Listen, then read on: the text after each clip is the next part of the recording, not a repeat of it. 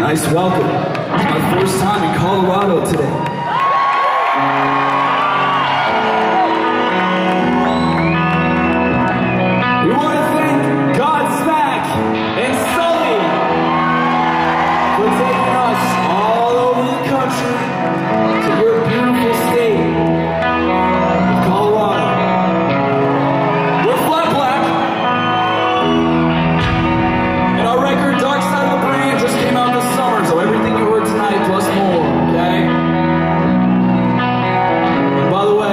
Unidos.